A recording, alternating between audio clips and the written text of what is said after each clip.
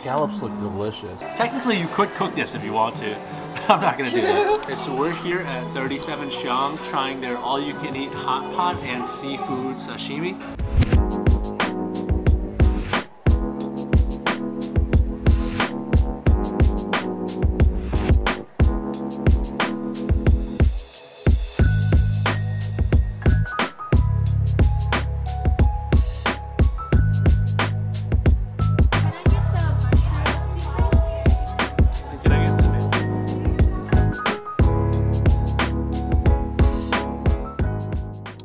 Adults buffet, it's $48.80. Then you also got to factor in the soup base, which you pay for separately. I think the small is $5.50, and then the large is $18.50. So what are we doing? All right, we're getting sauces. They actually bring the sauce cart to you, so we have a straight sauce for you. You guys are getting the inside scoop on my favorite hot pot sauce.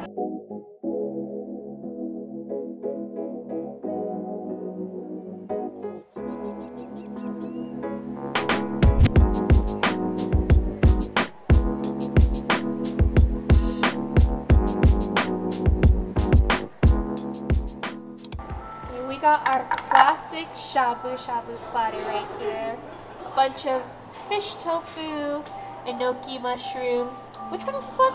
Uh, the fish roll um, balls. Oh, fish roll balls. So like a variation of fish ball. I always get pumpkin and taro because they really soak up the broth. And then we got a bunch of quail eggs. My favorite. Those are literally my favorite thing to eat at hot pot. And then we got what they call Japanese tofu. It looks like egg tofu, so really, really excited to have that. And then we got one ramen noodle as well. Underneath it is the special dish. We got spicy fish fillets. Look how spicy it looks. I'm gonna grab a nice big juicy piece right there and drop it right in. I'm gonna try it without the sauce first, just because I want to taste like what they put on it, like the marinade. Whoa, that's super flavorful. I'm gonna taste it with sauce, but I honestly don't think you need it because there's so much flavor already packed in the fish. This is the shrimp paste. It comes with your all you can eat and it's so cool. It's like ground up shrimp. So you make your own like shrimp balls essentially. It's going in my tomato soup. All right, it's in. Mm. Delicious. So good. So much oysters, thank you. That's all you, buddy. That's all you. Apparently. So the oysters came. We didn't think it would come with this much, but it's like a dozen essentially. I see some of them even have two, which is crazy. 'Cause She doesn't like oysters, so this is all up to me now. Blue Point oysters. Let's see. Mm. Is it good? Actually, it's delicious. It's very fresh. Really? Okay. Wow. It does not taste like all you can eat oysters to me. No fishy taste. You just taste the lemon and the sauce. All right, so this is the sashimi. So let's try scallops. I love raw scallops. Dip it in some soy sauce with wasabi. Mm, that's so fresh. It's not something you expect from an all-you-can-eat place, but it tastes like like a very quality scallop, honestly.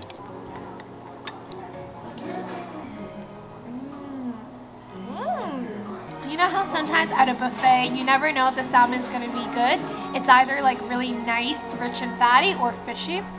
This is like the fatty kind. So good. Definitely get this out. So now I'm gonna try the Arctic Bay. It's the red clam. It looks very fresh too. Let's see. I know some people don't really like this, but for me it's one of my favorites actually. And this place does it well. It's honestly a little fishy, this red snapper. I think that's just how red snapper is. I don't think that's anything on their part. Personally for me, I don't really like the fish. Looks pretty fresh too. Okay, soaked in the soy sauce. Mmm, that one's good. That one tastes very fresh. This is all you can eat, guys. Remember that. And you're getting a ton of each type of item. Look at all that, guys. Okay, let's cook some seafood now. So we ordered a couple of prawns. So I'm just gonna put one in there. Shell and all. So you do have to peel the shell for this, but it does look really nice and fresh. That goes in. We also got some scallops. Now this looks a bit different, but I think they just took it out of whatever shell it was in. So I'll put one of this in there. And the last thing on our seafood plate here is something called butterfish.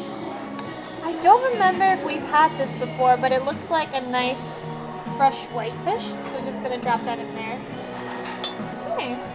So it looks like the shrimp is done. Doesn't take too long for it.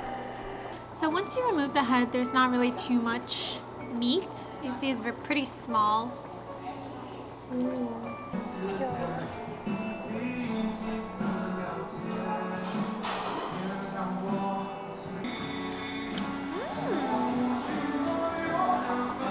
It's yummy.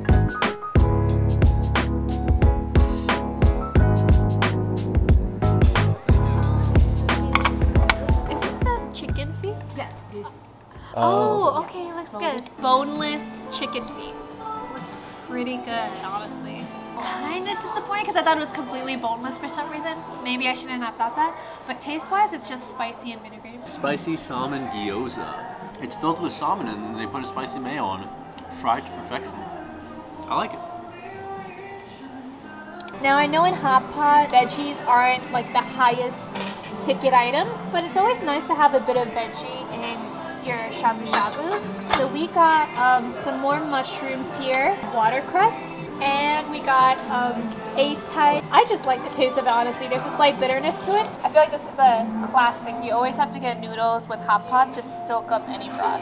I think one of the things I really like about this place is the fact that the broth itself is so delicious. You honestly don't really need your sauce. I do like the fact that you can do sauce, but my broth is so good. Like the tomato soup is so rich. It tastes like Mikey Chen's tomato soup, which we've done a review on in the past, and it's just as good. It's just as rich, just as flavorful. A lot of tomato flavor. Where we're seated at is the small hot pot table. So these are small hot pots. So these are 550 per person and they actually have a different one with larger where you can like basically have two it's like a big rectangle and then it's split into two so you can have two separate hot pot bases and that one's 1850 so financially it just makes more sense to do the 550 so if you come with a small group definitely makes sense to get the small hot pot table because it's just cheaper overall And these booths, by the way, they're really spacious, especially for two people. I would say it could easily sit four people comfortably.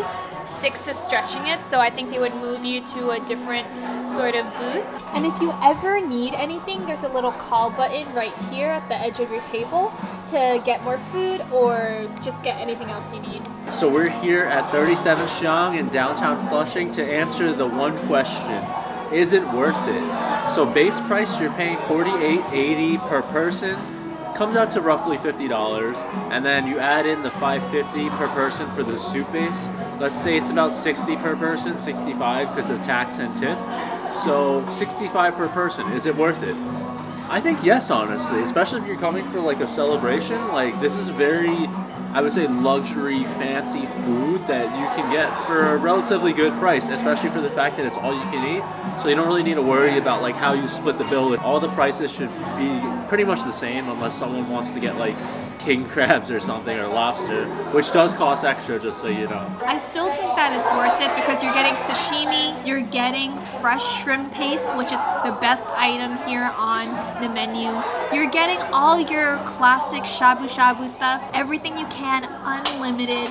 And not to mention, you also get meats as well, not just seafood, like high quality beef pieces. When I come back here? Um, this is not a like everyday kind of hot pot place. Like I wouldn't come here every month. If it's someone's birthday, they really want to like splurge, enjoy themselves. I would not mind shelling out the 65 and enjoy myself. So yes, definitely with the $60, it is a steep price for a hot pot, especially since other places are maybe 30 to 40 at the top range. We recommend it.